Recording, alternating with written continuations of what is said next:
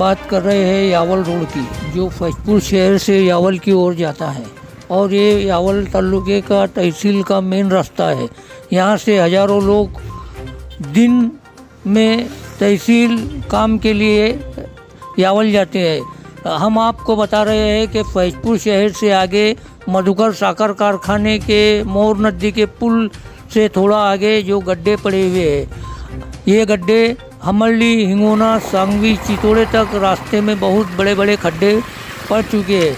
सार्वजनिक बांधकाम विभाग का इस खड्डों की ओर दुर्लक्ष्य आप देख सकते हैं कि ये खड्डों की ओर सार्वजनिक बांधकाम विभाग का कोई ध्यान नहीं है। यहाँ पर जो छोटे छोटे ब्रिज बने हुए हैं, इन ब्रिजों पर बहुत बड़े बड़े खड्डे पड़ चुके हैं। लेकिन सार्वजनिक बांधकाम विभाग, पीडब्ल्यूडी का इस ओर कोई ध्यान नहीं है। हमने पिछली वीडियो में भी फैजपुर के धारी नदी के पुल के ओर जाने वाले सऊदी की तरफ़ रास्तों में पड़े खड्डों की ओर भी वीडियो बनाया था, लेकिन अभी तक यहाँ के खड्डे बंद नहीं हुए हैं।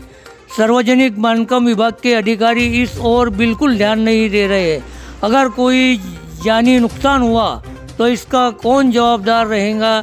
इस बात की चर्चा नागरिकों में और फैजपुर शहर के नागरिकों में हो रही है। मैं हूँ शाकिर मलिक, जनता की बात आप तक।